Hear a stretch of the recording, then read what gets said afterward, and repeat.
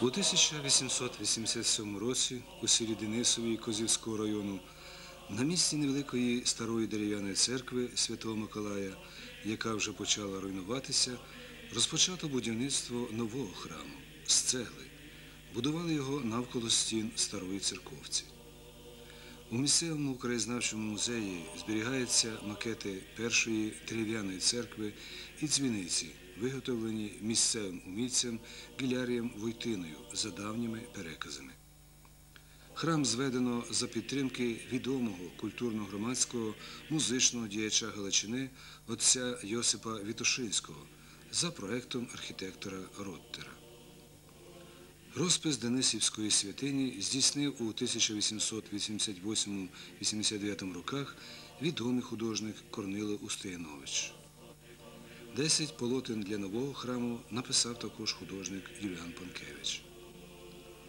Трохи раніше, у 1862 році, була зведена нова кам'яна дзвіниця. На жаль, за часів радянських вона була повністю зруйнована. На її місці нині зведена нова.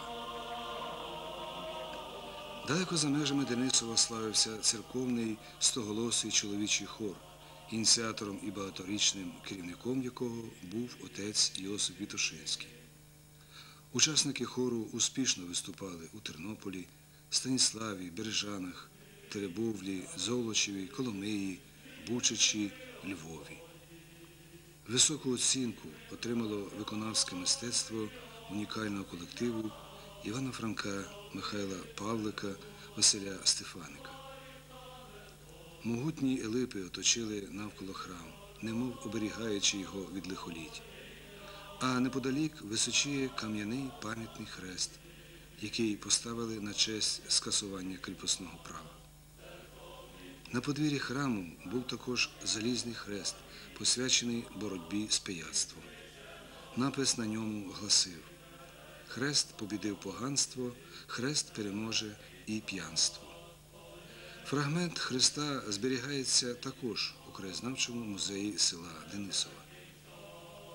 Храм побудований у вигляді хреста, однокупольний, купол восьмигранний.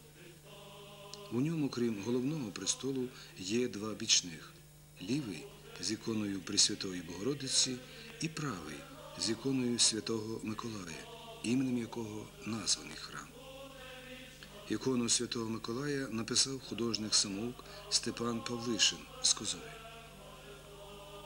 Храмова ікона Святого Миколая є головною і знаходиться також на тетраподі, у вівтарі, а також на вході до церкви у верхній частині. У роки Другої світової війни під час боїв у церкву влучив снаряд, і вона дуже постраждала.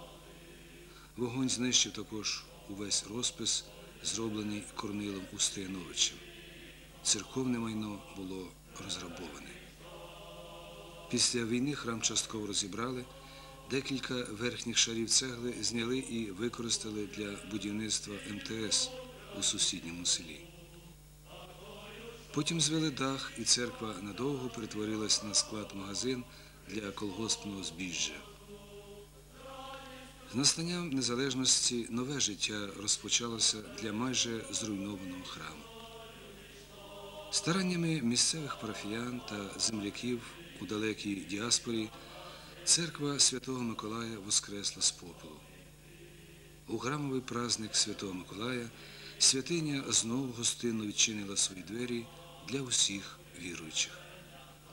А благословили храм на нове життя отець Митрат Василь Семенюк і голова комісії Тернопільської обласної ради з питань культури, освіти та духовного відродження Ігор Герета. У сільському сквері напроти церкви Святого Миколая стоїть погруддя будівничого храму його багаторічного пароха, керівника заснованого ним хору отця Йосипа Вітошинського. Піднялися і застигли у повітрі руки з тонкими чутливими пальцями. І здається, що знову, як і в ті далекі, повиті серпанком роки, зазвучить стоголосо 102-й Давидів псалом. Благослови душе моя Господа, і все нутро моє святе ім'я Його.